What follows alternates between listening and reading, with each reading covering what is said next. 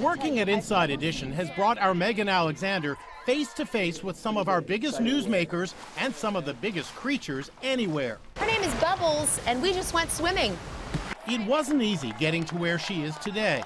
Turns out she's discovered a path to success that might surprise you. Ah! My faith is really important to me. It's my moral compass in life. And it became inspiration for her new book, Faith in the Spotlight Thriving in Your Career While Staying True to Your Beliefs.